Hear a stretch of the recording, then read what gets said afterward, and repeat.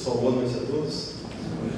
É uma satisfação estar aqui, até porque é um tema que nós vamos ter a oportunidade de discutir é, e envolve todos nós aqui. Todo mundo aqui com certeza já leu pelo menos um, ou tem a intenção de ler pelo menos um livro relacionado à doutrina espírita. E a nossa proposta é justamente identificar quais aspectos nós poderíamos classificar, até que ponto este livro, de fato, ele pode nos ajudar a entender um pouquinho mais sobre o Espiritismo e até que ponto ele pode nos favorecer também a buscarmos aquilo que nós sempre é, estivemos, é, que nós consigamos buscar o que o Espiritismo nos incentiva, que é o desenvolvimento moral e intelectual. A nossa proposta, ela tem como finalidade é, trazer alguns aspectos sobre é, a doutrina espírita é, e buscando entender até que ponto nos dias de hoje isso também pode nos ser útil né, para nós buscarmos é, a melhor fonte de informação. Hoje é muito fácil nós é, encontrarmos uma literatura ou textos relacionados a, ao espiritualismo de forma geral e ao espiritismo em particular. É muito comum nós, por exemplo, acessarmos a internet ou nos depararmos com algum texto né, que a gente sabe de onde veio é, e assina lá um fulano que se diz espírita ou que ora pelo espírito X. Não, não espírito, não o, X. Não, não o X, o irmão X. O espírito Y, pronto.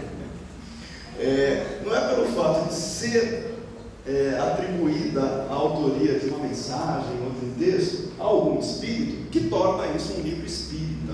E é interessante porque nós temos hoje aqui, talvez, pessoas que estão chegando pela primeira vez né, à casa, é, estão tomando contato né, com a doutrina espírita, inicialmente é, em busca de uma harmonia interior, né? às vezes a gente procura o centro espírita porque estamos vivenciando momentos que nos exigem reflexão, ponderação, calma, paciência, e a gente busca na literatura também suporte para que nós consigamos ter isso também de uma maneira mais é, é, equilibrada. E essa primeira abordagem que nós temos, tanto para quem está chegando agora, quanto para aqueles que também já têm um pouquinho mais de vivência é, com o Espiritismo, pode nos ajudar a refletir até que ponto o que eu estou tomando contato, o que eu estou lendo, realmente está me fazendo bem, realmente está mudando a minha vida ou me acrescentando alguma coisa. E nesse processo de nós tomarmos contato né, com essa fonte que, que, de informações né, que se chama Espiritismo, será que aquilo que nós estamos tendo o acesso, a oportunidade de, de, de, de ler, isso pode ser considerado efetivamente da doutrina espírita? É uma pergunta que a gente faz. E nesse sentido, a gente tem que partir para algo né, que a gente vai é, é, chamar aqui de joio e trigo, fazendo uma referência bíblica, né? Nós temos que separar o que pertence ou que não pertence efetivamente à doutrina espírita para nós compreendermos até que ponto os princípios que estão sendo tratados são coerentes ou não com é, o espiritismo. Nós precisamos separar o joio do trigo neste sentido. E nós vamos reconhecer inicialmente qual é o joio e qual é o trigo. Porque eu escutei isso muitas vezes, eu tenho certeza que muitos aqui também. Não, a gente tem que deixar as pessoas lerem o que bem quiserem, né? Tem que ler de tudo, porque daí elas separam o que é bom e o que não é. Ora, bolas. Como alguém que não tem referência do que é doutrina espírita vai conseguir identificar o que é e o que não é espírita? Não tem como. É a mesma coisa que nós é, trabalharmos o, seguinte sentido: uma mãe as mocinhas aqui presentes, que são mães ou que desejam ser. Vocês dariam algum alimento contaminado para o filho de vocês? Nunca, porque as mães zelam pelo bem-estar das crianças. Os pais também, né? A gente fala das mães porque eles estão mais próximos, né? Mas ninguém, na consciência, vai oferecer para alguém que a gente goste um alimento ou alguma coisa que não esteja saudavelmente é, é, é oferecida ali. É a mesma coisa quando nós temos a oportunidade de oferecer para alguém um conteúdo que nós acreditamos saudável, que nós acreditamos ser parte do que nós chamamos de doutrina espírita. Se eu vou oferecer um livro para alguém ou uma obra, se eu sei que aquela obra é boa, eu vou me sentir muito bem de oferecer isso para a pessoa. Se eu não conheço aquela obra, talvez eu esteja oferecendo para ela elementos ali que, em vez de ajudar a pessoa, podem confundi-la ou não ajudar no esclarecimento do que ela procura. Esse é o caminho que nós temos para começar a separar o que pode fazer bem ou não na literatura dita espírita.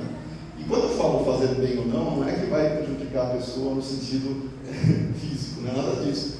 É em termos de conceitos. Para nós separarmos o joio do trigo, né, aí está o joio e lá está o trigo. É, nós temos que ter uma técnica para fazer isso. Né? Tem que saber identificar e como separar. É, essa frase aí vem desde Santo Agostinho, onde a gente encontra lá no livro dos Médiuns, no capítulo 31, item 16. Ele tem uma mensagem que ele fala justamente isso. Né? Cabe a nós distinguir o joio do trigo. E não está falando só da literatura, está falando da vida como um todo. Né? É, semeai unicamente o bom grão, ou seja, vamos oferecer aquilo que nós entendemos, aquilo que seja bom para nós e para os outros. É, e preservai-vos de espalhar o joio, não contamine, não prejudique os outros. Por isso que este pedirá que aquele germine, e sereis responsáveis por todo o mal que daí resulte. Olha a responsabilidade que nós temos quando nós oferecemos para alguém uma informação ou alguma coisa que não vai fazer bem para aquela pessoa, ou que vai confundir a pessoa. De igual modo, sereis responsáveis pelas doutrinas más que porventura propagueis. Doutrinas más seriam aquelas que eventualmente não colaborariam para que o indivíduo se harmonizasse, se equilibrasse, se melhorasse. Tudo aquilo que não nos faz bem, para que a gente vai oferecer para os outros muitas vezes? Né? Nós não vamos, não deveríamos, pelo menos. E aí nós temos uma comunicação muito interessante do Espírito da Verdade, no Evangelho segundo o Espiritismo, capítulo 6, aonde ele fala especificamente para os espíritas, né? É uma mensagem para os espíritas. E ele está é, dizendo o seguinte: crede, amai, meditai sobre as coisas que vos são reveladas para nós espíritas. Temos que meditar, pensar naquilo que nós estamos tendo acesso. Não mistureis o joio com a boa semente, as utopias com as verdades. Espíritas, amai-vos este primeiro ensinamento, instruí-vos, eis o segundo. Para quem não sabe, o Espírito da Verdade foi aquele que orientou Kardec é, no processo da codificação, né, da organização dos livros, das obras básicas. Né? Ele foi o Espírito que comandou é, obviamente, dentro dessa, desse trabalho é, da formulação, da construção do Espiritismo, foi o Espírito da Verdade que organizou isso do mundo espiritual para que nós tivéssemos hoje né, materializados esses ensinamentos.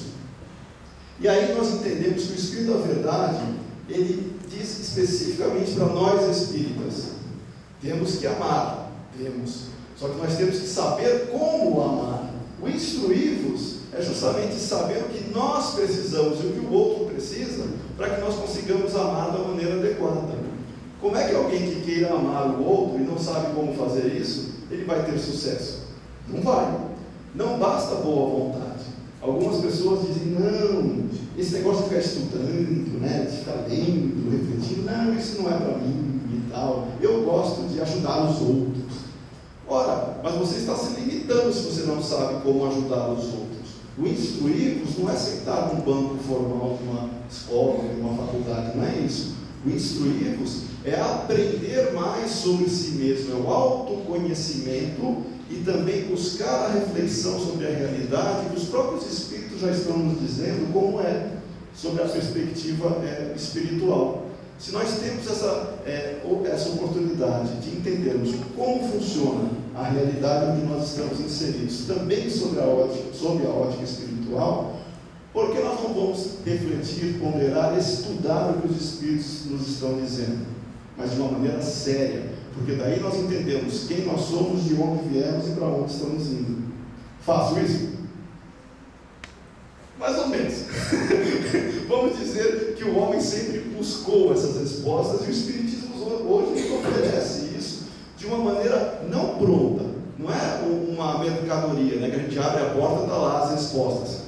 O Espiritismo nos oferece as condições para nós refletirmos e chegarmos na resposta. A fé raciocinada que nós temos é justamente aquela que não nos faz aceitar cegamente tudo que nos chega, refletir, ponderar, criticar o que nós estamos tendo acesso para saber se isso efetivamente faz sentido ou não. Exatamente isso que nós temos quando o Espírito da Verdade nos diz: instruí-vos, porque aí a gente consegue entender também que nós estamos, e bus estamos buscando né, o caminho mais correto. Olha lá, o Espiritismo é, ele foi estruturado para ser uma doutrina dinâmica. Ele não é monolítica, ou seja, foi criado estagnou-se. O Espiritismo tem a vantagem de avançar conforme a ciência também avança, porque novos fatos permitem novas reflexões. Kardec traz essa oportunidade para todos os espíritas, no sentido genérico, de não nos acomodarmos com o conhecimento supostamente confortável de que nós temos hoje, porque nós temos que desenvolver esse mesmo conhecimento. É muito fácil, né? Olha, eu já sei isso, então eu não preciso mais estudar. Não, ninguém sabe nada. Nós estamos buscando compreender essa realidade onde nós estamos inseridos. E é isso que a doutrina espírita nos faz. Quem está chegando hoje pela primeira vez, não para ficar assustado também, né? Mas é para entender que nós temos como proposta de reforma íntima o autoconhecimento. E para nós nos autoconhecermos, nós temos que buscar entender o que é o espírito, como é que nós estamos inseridos nesse processo evolutivo. Todos nós aqui fomos criados simples e ignorantes em algum momento e iniciamos a jornada evolutiva nesse processo até desenvolvermos tudo aquilo que nós temos potencialmente dentro de nós para manifestarmos isso como pureza espiritual. Todos nós aqui somos espíritos criados iguaizinhos, com o mesmo potencial de crescimento e vivenciamos experiências para desenvolver este potencial. Todos nós aqui, a, o que nós chamamos de reencarnação, faz parte desse processo de desenvolvimento.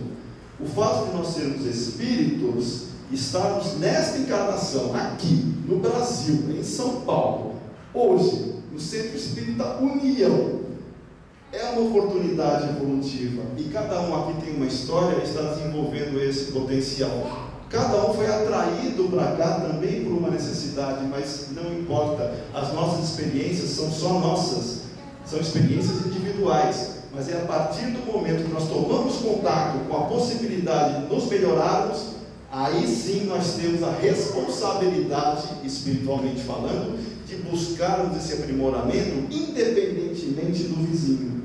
Não é porque o vizinho está num ritmo diferente que eu também não, eu vou me acomodar no ritmo dele.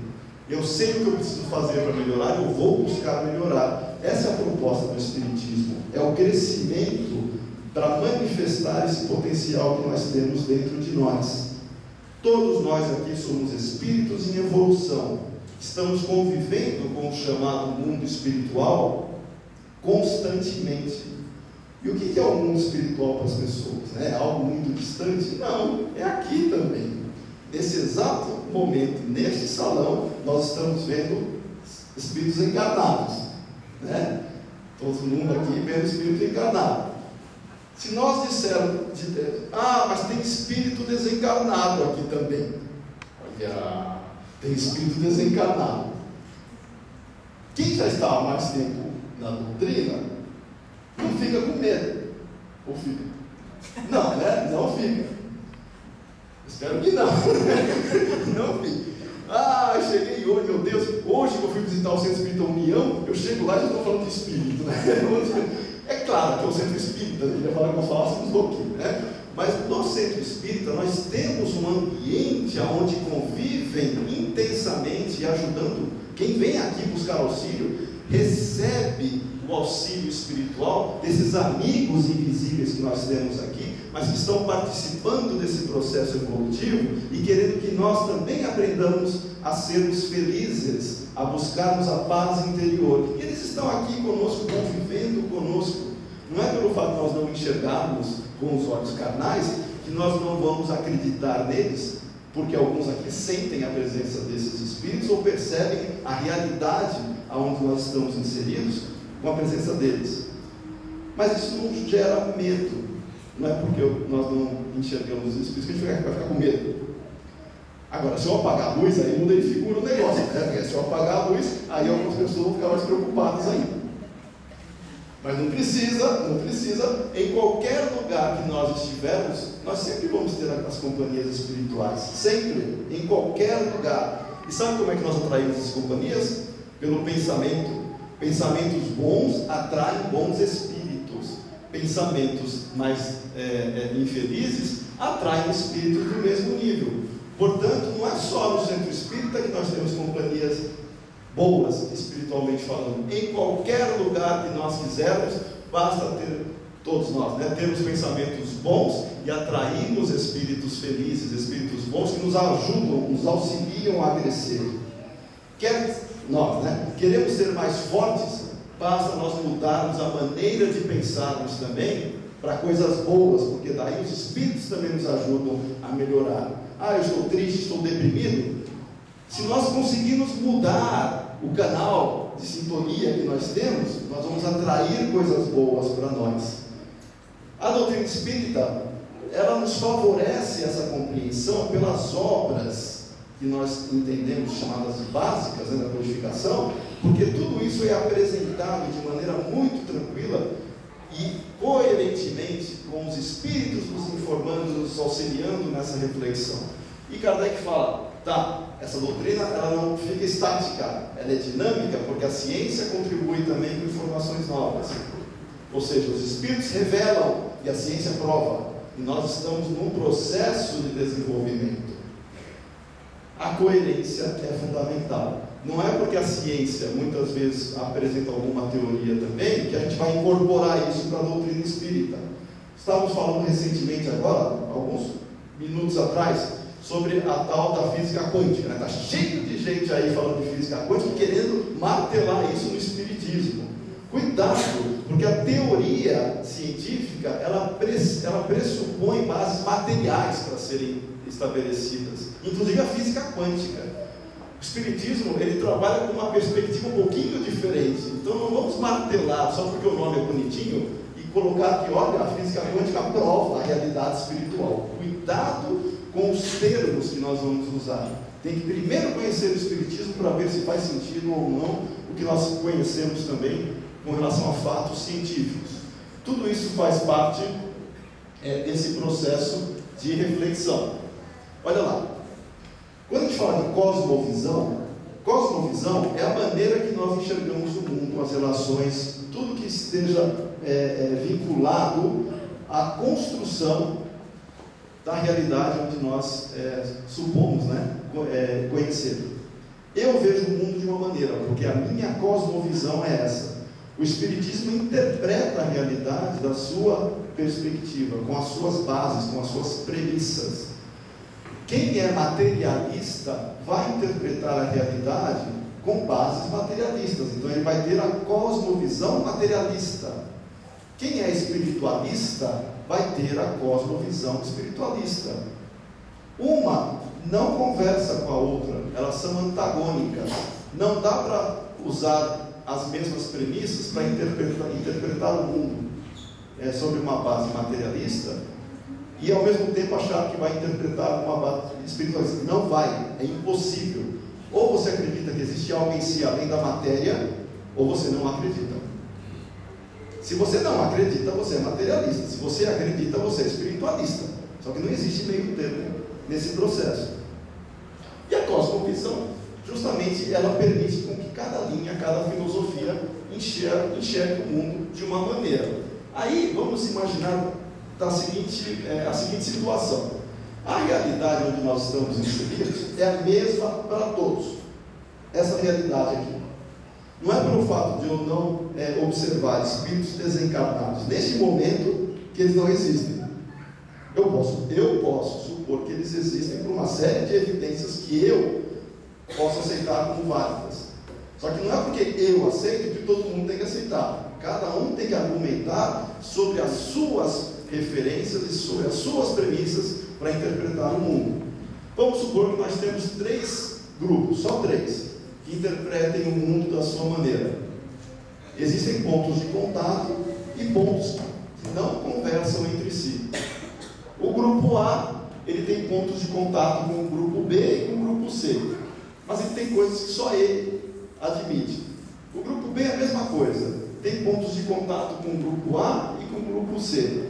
Só que tem coisas que só ele admite. E o, e o grupo C é a mesma coisa.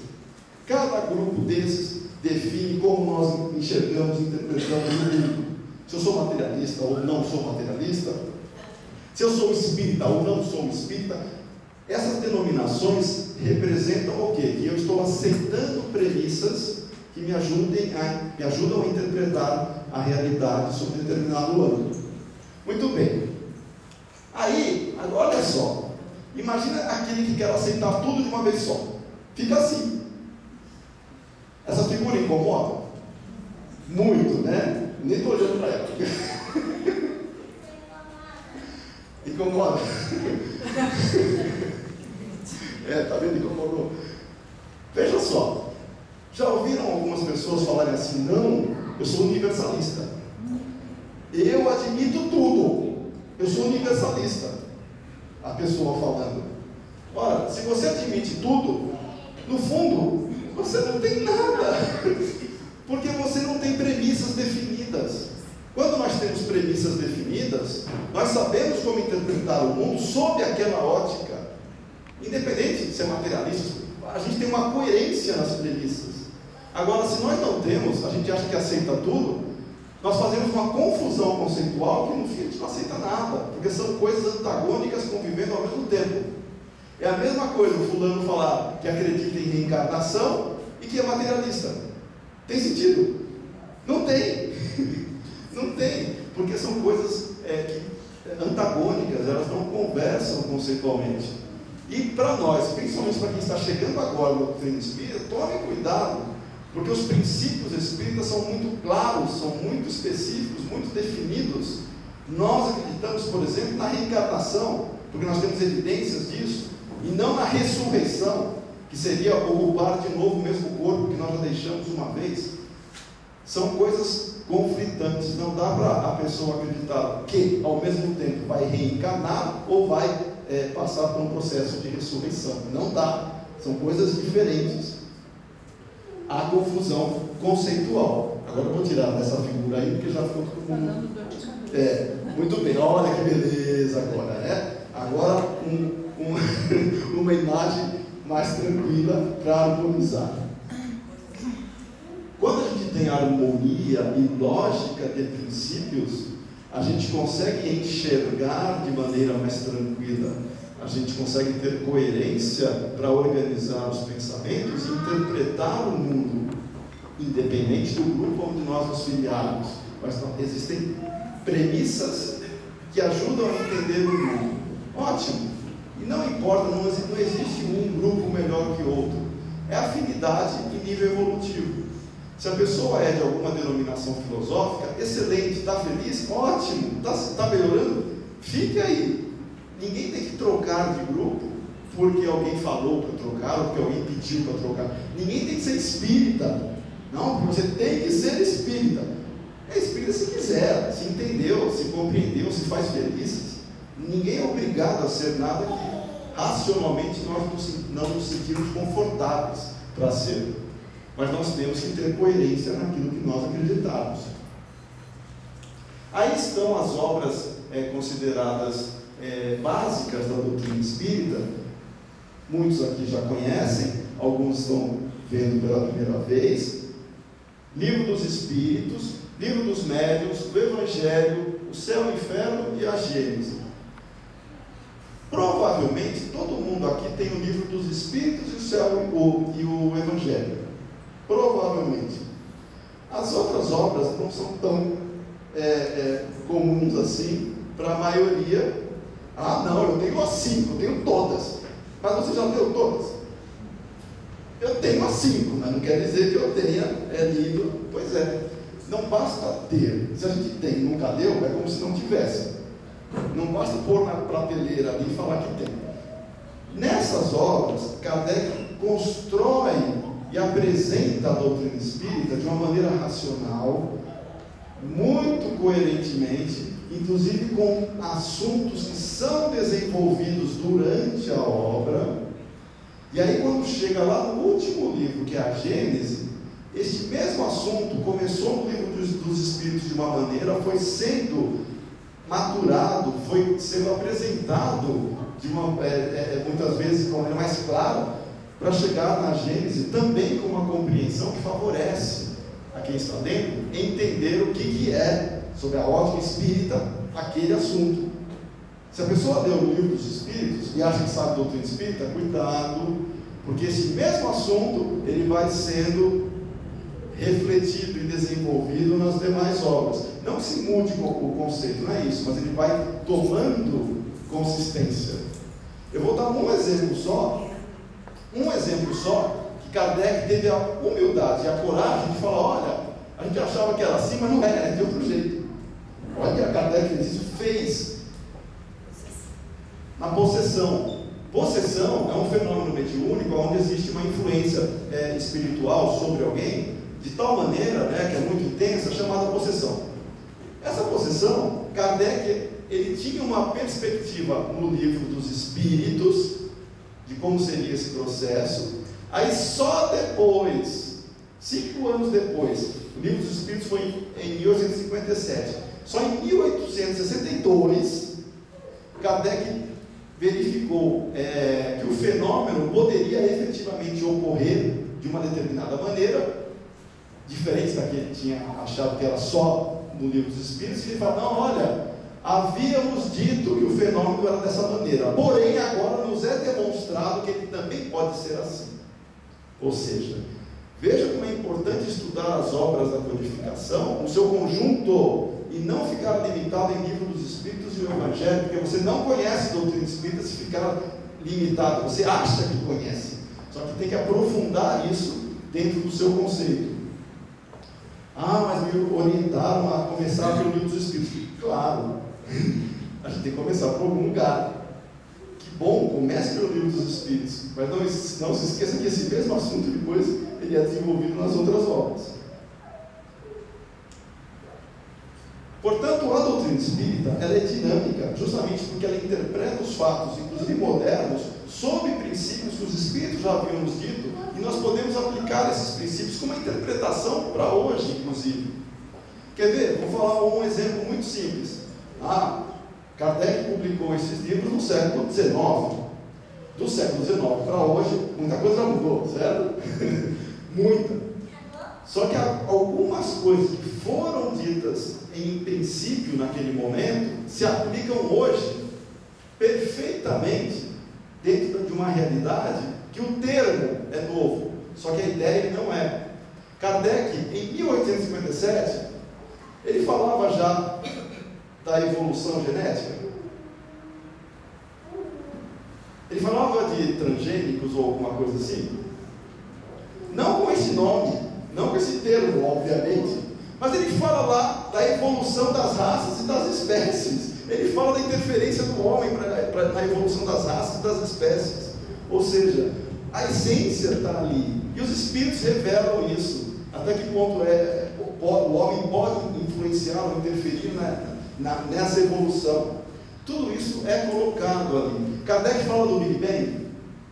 Claro que não, que é uma teoria muito mais recente. Mas ele fala ali todo, ele dá a resposta para aqueles que têm dúvida. Meu Deus, onde ficavam os espíritos antes do Big Bang? Porque o Big Bang é uma teoria científica que supostamente toda a matéria do universo estava concentrada num único ponto chamado, chamado singularidade. De repente esse ponto explode, daí Big Bang, e os planetas, os corpos todos foram formados. Né? Ah tá, estava toda a matéria reunida num único ponto. E os espíritos estavam onde? É uma pergunta. Aí Kardec dá a resposta lá. Ele fala o seguinte: o mundo espiritual pré-existe e sobrevive ao mundo material. Portanto, pode ter Big Bang ou não, o mundo espiritual não é, ele não, ele não depende do Big Bang para existir. Ele está interrelacionado diretamente. Só que ele não depende do Big Bang para existir. Muito, porém, o que a gente está dizendo? Questões novas, questões modernas que a ciência traz, os princípios podem ser é, é, observados analisados lá pela revelação dos Espíritos também. Ou seja, quem acha que Kardec está muito desatualizado, cuidado, é você que não está atualizado em Kardec, porque os Espíritos colocam lá a essência dessa cosmovisão espírita que nos ajuda a interpretar uma série de fatores é, que nós temos. Portanto, o Espiritismo e a ciência se completam, mas não quer dizer que os livros científicos façam parte da doutrina espírita por definição. Eles podem ajudar o conhecimento científico, ele ajuda o Espiritismo a justamente compreender a realidade sob um outro ângulo. Mas não quer dizer que automaticamente o que se fala na ciência é aceito no Espiritismo. E sabe por quê? Porque existe uma diferença básica. O Espiritismo admite verdades reveladas pelos Espíritos. A ciência não admite verdade revelada. Não existe verdade absoluta para a ciência. Tudo está em evolução.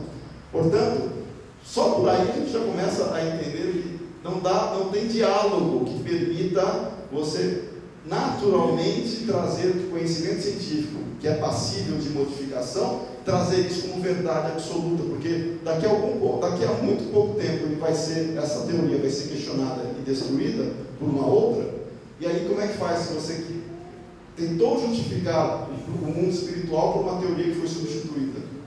Vai ficar complicado, não vai? Vai.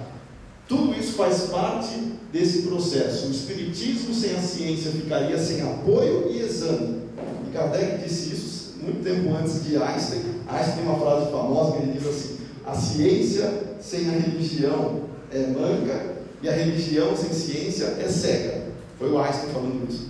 Só que Kardec, antes de Einstein, ele falava do espiritismo e da é, ciência, da união necessária.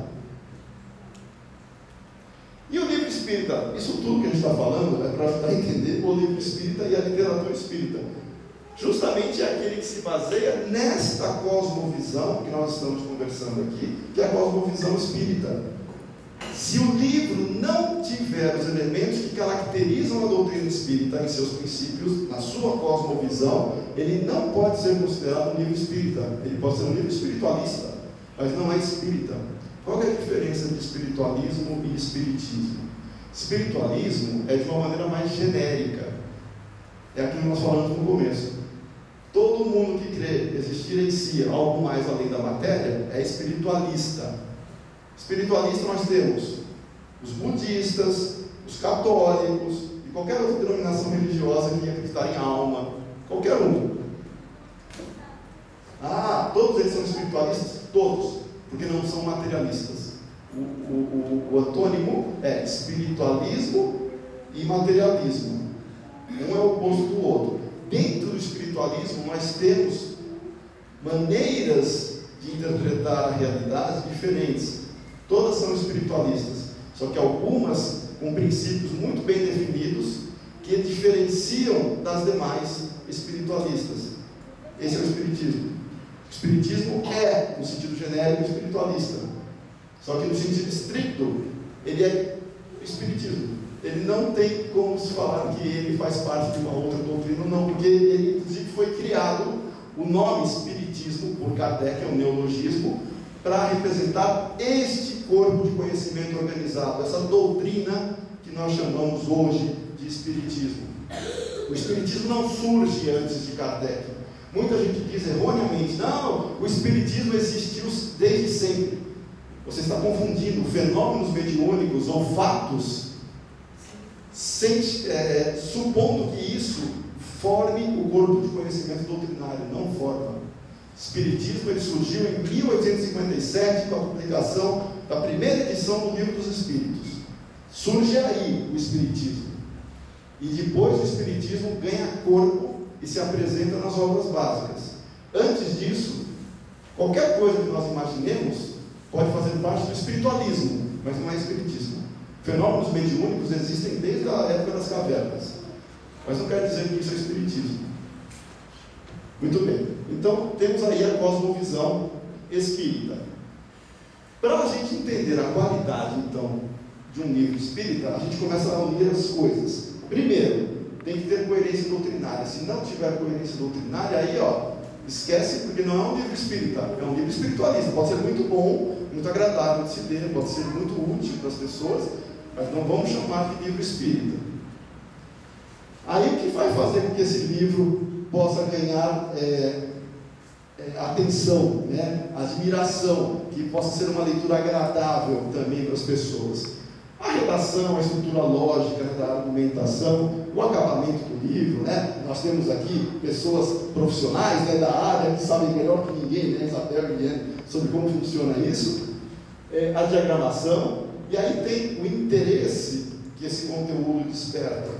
Porque o livro, se ele não despertar interesse, ele vira um livro chato, né? E ler, um livro chato é uma coisa muito chata, pô.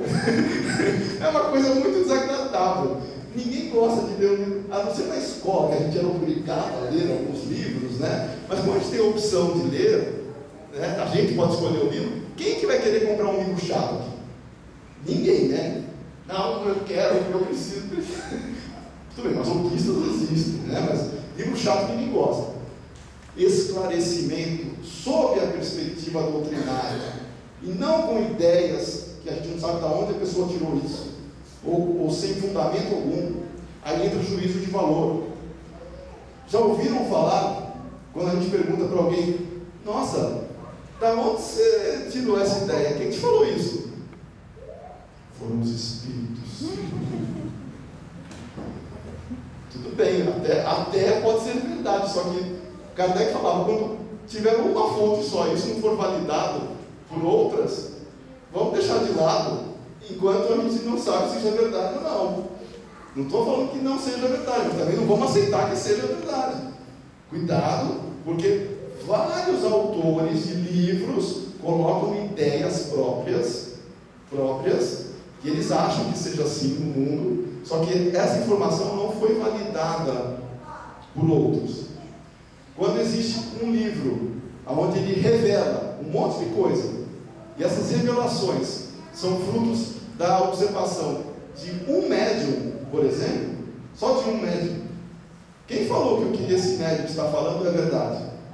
No livro, no livro dos médiuns de Kardec, ele diz com todas as letras lá os espíritos, não é quem assina que vai fazer a mensagem ser, ter valor, ter utilidade, é o conteúdo da mensagem. Portanto, independente de quem assine, não quer dizer que isso vai ser útil ou não, que isso vai ser válido ou não. Até porque, eu não sei quantos aqui têm é, familiaridade com a literatura espírita, os melhores livros que nós temos, doutrinários, não são livros escritos via psicográfica. Se você, ó, eu vou citar alguns autores aqui, para quem tem mais familiaridade, para entender.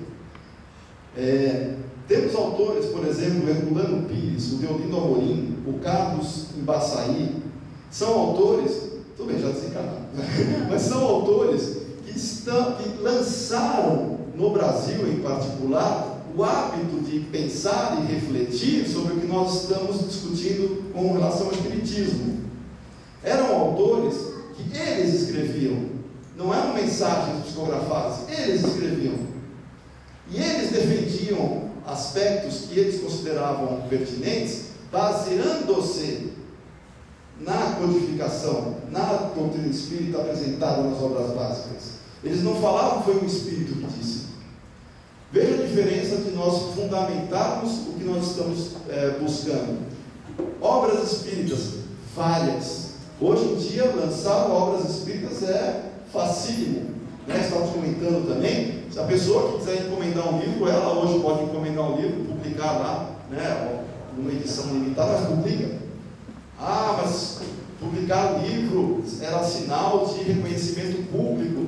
Há muitos, muitas décadas atrás, ter um livro era uma coisa é, é, até de expressão.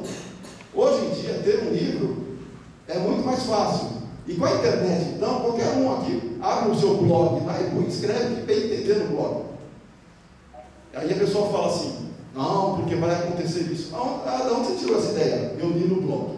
É. Como se o blog fosse a fonte de informação mais fidedigna que nós tivéssemos para é, expressar o conhecimento espírita. Não é. Conhecimento espírita está fundamentado em Kardec. O que os espíritas, ou aqueles que se dizem espíritas, publicam por aí, vamos analisar de maneira muito criteriosa para saber se o que eles estão falando de fato tem coerência ou não com Kardec, o próprio Chico Xavier, né, pelo, pelo mentor dele, o Emmanuel. Ele, ele falou assim: se o que eu estiver lá escrevendo, se estiver em desacordo com Kardec, o que, que ele recomendou fazer? Rasgue. Isso é o Chico falando. Porque ninguém aqui é infalível. Todos nós aqui estamos sujeitos a eventualmente apresentarmos alguma informação passível de ser corrigida depois. E é assim que nós temos que proceder. E temos a humildade de reconhecer que isso faz parte do desenvolvimento e da dinâmica espírita. Olha a literatura espírita como ela não é estreita, ela admite, ela admite, mas tem que ter humildade, sob uma ótica fundamentada em Kardec e no, nos livros da codificação, a reflexão sobre o que nós estamos falando e se isso tem coerência ou não.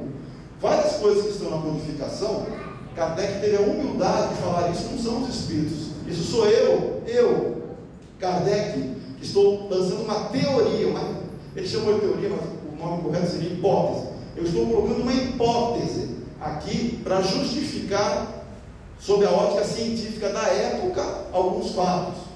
Naquela época, a ciência do século XIX, obviamente, né, estava se desenvolvendo, mas também conhecimento muito limitado perto de hoje. Existiam vários termos científicos que Kardec se serviu, porque a ciência da época se serviu, que hoje ninguém mais usa. Não é por isso que o que ele escreveu foi invalidado. É, o, é o, a essência do que ele escreveu. Se a gente se apegar à forma e esquecer a essência, aí a gente não vai entender nada do que está escrito na Gênesis. Tá? Muito bem. A motivação, claro, para a leitura. E aqui que é produtos LP? LP é longo prazo, né? Outro dia eu coloquei isso, aí um mais antigo falou long play. é, o jovem de hoje nem sabe o que é isso. É, eu também não sei o que é long play. É aquele disco, discão, sabe? Disco. Vinil. De vinil, isso, disco de vinil. Tá voltando. É, só os saudosistas, né? Muito bem. Produtos de longo prazo é o que a literatura vai fazer por mim a partir do momento que eu fechar o livro.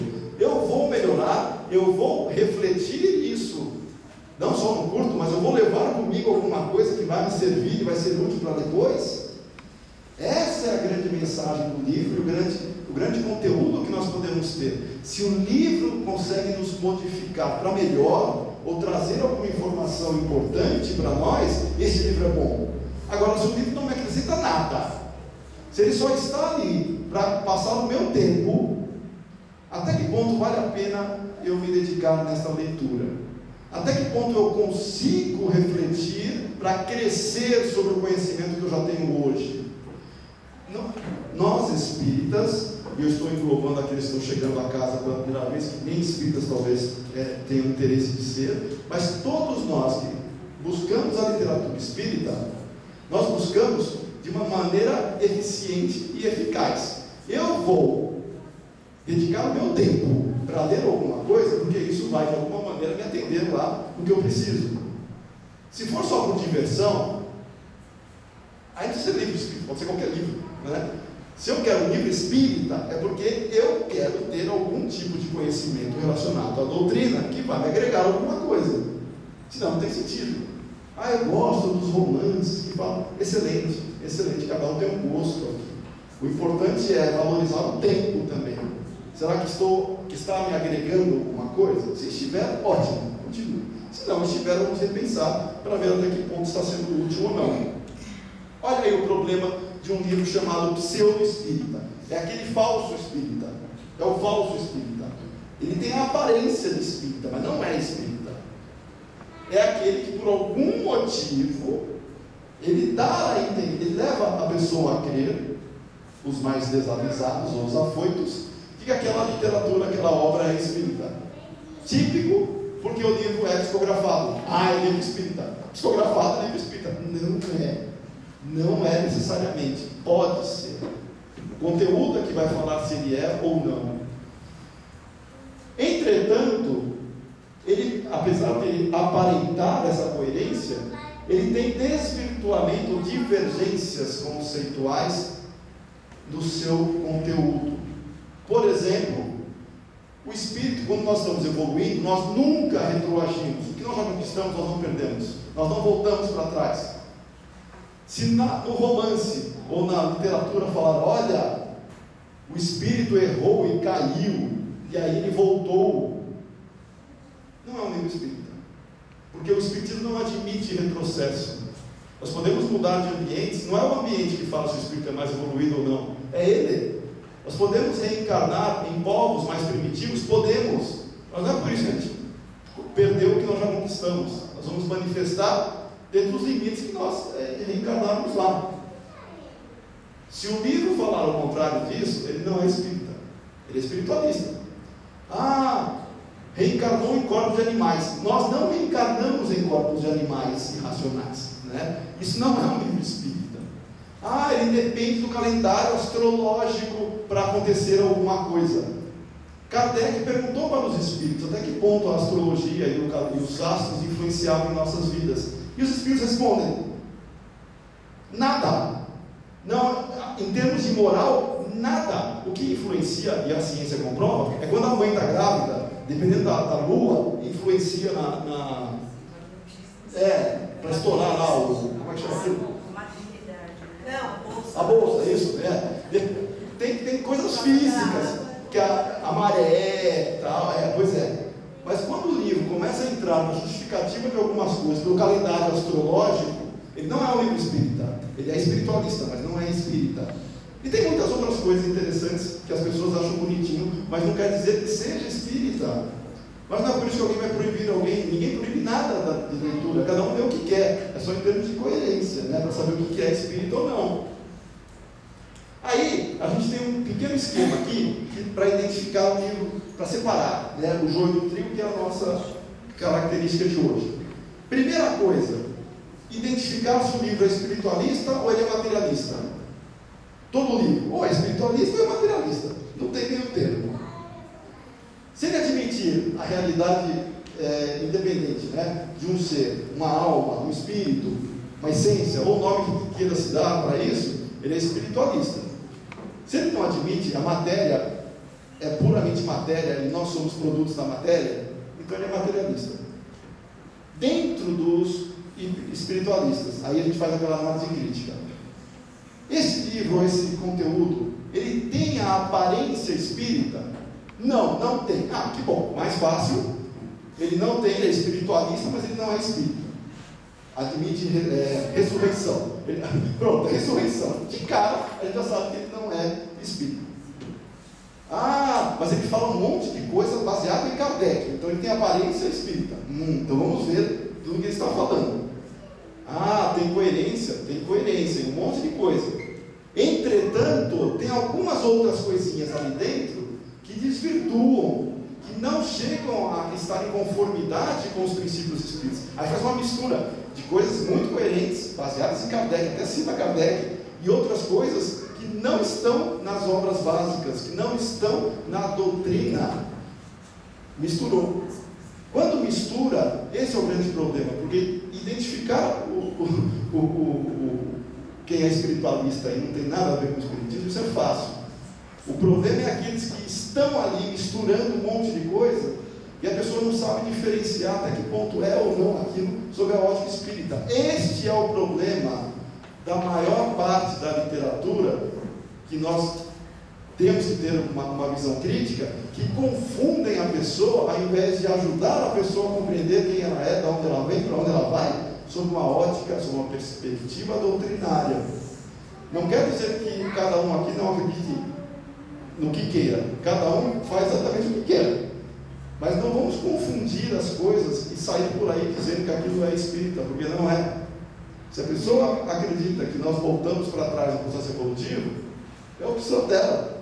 Mas não chame isso de espiritismo, porque não é espírita. Esse é o problema de nós termos muitas vezes, ou entendermos, que para nós divulgarmos alguma coisa, e alguém vem nos perguntar muitas vezes, sabendo que nós somos espíritas, ah, você é espírita, olha, me recomenda um livro, ou me recomenda uma literatura. Quantas vezes isso acontece para nós? Quantas vezes alguém, por saber ou por ter a, a informação de que nós somos espíritas, vem perguntar alguma coisa para nós. O que, que o Espiritismo diz sobre isso ou sobre aquilo? Já aconteceu? Várias vezes, várias vezes. Aí a pessoa vai se basear em quê para responder? Se, ela, nós, né, se nós tivermos a humildade e a coerência suficiente, não souber, se nós não soubermos a resposta, não sei, eu tenho que pesquisar mais, eu, tenho, eu não tenho toda a informação para te responder agora, mas eu vou pesquisar mais. Ótimo. Ah, não, eu ouvi dizer que é assim que acontece. Pronto, é por aí que a pessoa, que seria um potencial é, é, é, indivíduo para aproveitar do conhecimento espírita, pronto, distorce, porque ele escuta uma coisa que não faz sentido nenhum, e aí ele se afasta até da doutrina espírita. É a mesma coisa, alguém que vem ao centro pela primeira vez, escuta uma palestra, de alguém, claro que não aqui no Centro Espírita União, que aqui não corre, escutaram uma, um, alguma coisa que não bate, não, não tem lógica em termos é, é, é, de coerência, inclusive na, na, na parte física. Pessoas que não são da área de conhecimento, né, de física, e saem por aí dizendo da física quântica, nem sabem o que estão falando. Quantas vezes nós temos isso acontecendo e querendo publicar, inclusive em livro? Cuidado né, com esse tipo de coisa. De qualquer forma, a ideia do livro é fechar, até do horário já estamos fechando também. Cadê? É, é, estou acompanhando. É, disciplinado. A ideia é nós entendermos que eu quero uma literatura espírita, quero, ótimo. Eu sei diferenciar o joio do trigo? Não, não sei, ótimo também. Porque eu vou buscar aonde? A fonte de, de referência que eu preciso. Kardec. Só que eu confio que eu vou, que eu, de alguma maneira, eu vou encontrar literatura espírita de boa qualidade, aonde? No centro espírita, claro, claro. Na livraria lá da esquina vai ter livro interessante, livro que não necessariamente, né? Por sinal, vou fazer um parênteses aqui. Outro dia eu fui numa livraria de um grande shopping aqui em São Paulo, uma rede de livraria muito grande. Aí, por curiosidade, eu sempre vou na, na na prateleira lá, né, de, dos espíritas, alguns chamam de espiritismo, outros misturam tudo, dentro da, da, da prateleira lá, né, da, dos, dos, livros que são considerados espíritas, tinham autores lá que são espiritualistas, eles mesmos se declaram espiritualistas e não são espíritas, mas está lá, está no meio do espiritismo, né? Aquele que quer conhecer a doutrina espírita e vê lá a prateleira de espiritismo e pega um livro desses, é capaz de sair acreditando em horóscopo, em alguma coisa dessa natureza, porque tem coisas ali complicadas. O centro espírita é o responsável pela divulgação com qualidade da literatura espírita, ou é, em termos impressos, né, mas as editoras e qualquer fonte de referência que zele, se preocupe pela qualidade doutrinária, é aquela que o gestor é aquele que sabe que assim como a mãe não vai oferecer alimentos contaminados para o seu filho, quem é o responsável por alguma atividade de divulgação doutrinária, ele é responsável também pelo tipo de conhecimento, pela informação e pelo estímulo que ele está fazendo para motivar alguém a conhecer o que é Espiritismo. Essa é a grande responsabilidade que todos nós temos, sem cair, infelizmente, no comodismo e no despreparo de falar, não, deixe de ler de tudo, porque uma hora ele vai ele, ele mesmo vai descobrir o que é bom e o que não é. Não dá para descobrir. Se tiver misturado as coisas, quem nunca leu Kardec não vai conhecer e não vai ter como saber a diferenciar.